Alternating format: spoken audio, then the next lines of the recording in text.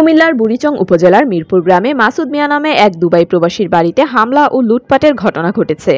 শনিবার সকাল সাড়ে আটটায় এ হামলার ঘটনা ঘটে। হামলাকারীরা এ সময় প্রবাসীর স্ত্রী তাসলিমা আক্তারকে মারধর ও শ্লীলতা হানি করে। এ ঘটনায় প্রবাসীর স্ত্রী তাসলিমা আক্তার বাদী হয়ে বুড়িচং থানায় একটি অভিযোগ দায়ের করেন। অভিযোগ সূত্রে জানা যায়, উপজেলার মিরপুর গ্রামের ময়নাল চৌধুরীর বাড়ির প্রবাসী মাসুদ মিয়ার সাথে প্রতিবেশী মোহাম্মদ শরীফ ও জামশেদের পূর্ব বিরোধ চলে আসছে। বিরোধের জের ধরে প্রতিপক্ষের লোকজন বিভিন্ন সময় প্রবাসীর স্ত্রীকে মারধর ও হুমকি ধমকি দিয়ে আসছিল। শনিবার সকাল সাড়ে আটটায় প্রতিপক্ষ শরীফ, জামশেদ, পাখি আক্তার ও আনোয়ারা বেগম দেশীয় অস্ত্র নিয়ে প্রবাসীর বাড়িতে হামলা চালায়। হামলাকারীরা এ সময় দরজা জানলা ভেঙে ঘরে প্রবেশ করে বিভিন্ন আসবাবপত্র পিটিয়ে ও কুপিয়ে ভাঙচুর করে।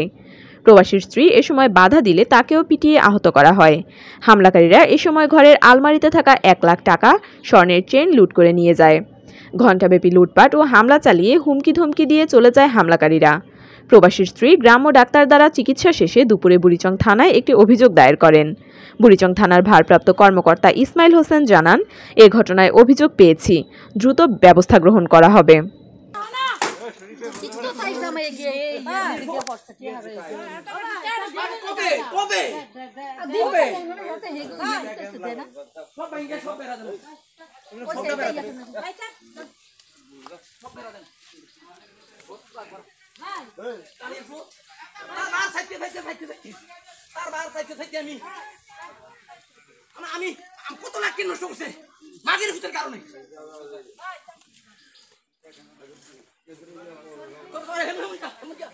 Julia out.